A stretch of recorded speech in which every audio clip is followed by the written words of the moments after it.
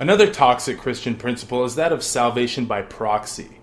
The idea that a person's sins are forgiven because of the sacrifice of Jesus Christ. Here's just a few conceptual problems with this.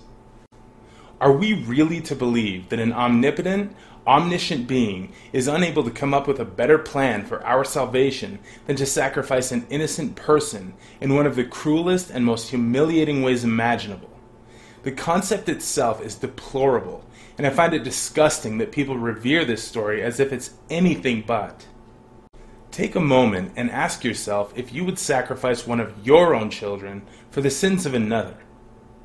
If you answered yes, I hope that you misunderstood the question. If you answered no, congratulations, you're more moral than the Christian God.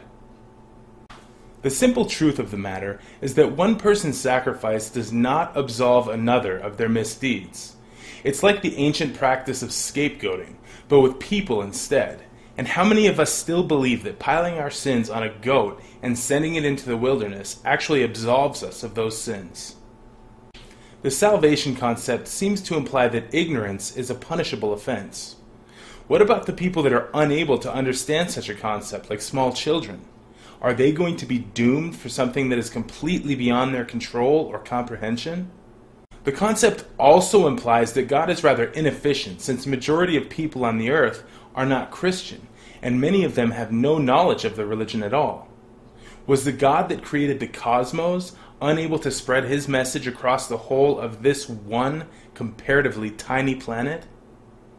What happens to people that do morally reprehensible things and are then saved?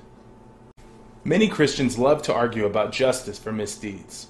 They say things like, if hell doesn't exist, people like Hitler, who committed horrible crimes, simply die and are never punished. Well, yes, that's true. Sometimes death is the only consequence, and sometimes people aren't punished at all for their crimes. Life is at times unfair and unjust. How does it help to posit the existence of an all powerful parental figure that would punish a generally good and moral atheist, but allow a genocidal maniac like Hitler salvation if he'll only offer repentance and obedience. The salvation principle plays on our inability to live up to the Christian God's impossible standards, and then offers us a loophole if we're only willing to be slaves to an idea. Punishing an innocent person for the sins of another is not justice, it's scapegoating. Hi, this is Rob Thompson. I hope you enjoyed this video. Please share it with everyone and click on the Atheist A to subscribe and follow me on Facebook.